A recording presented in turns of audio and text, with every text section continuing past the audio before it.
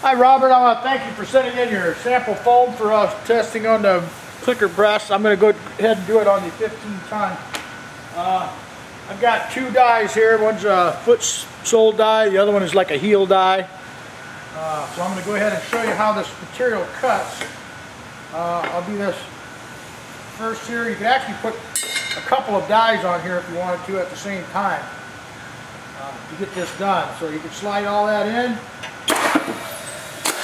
hit the buttons and it comes out just like that. That easy. Just like that you can push that right out of there. And there's your heel die. Um, so the material is not going to be hard to cut at all with these clicker dies.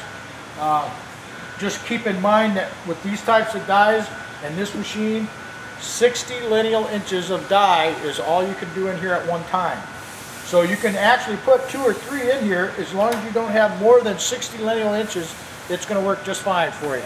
I'll send the video over and you can give me a call and let me know what you think. Thank you.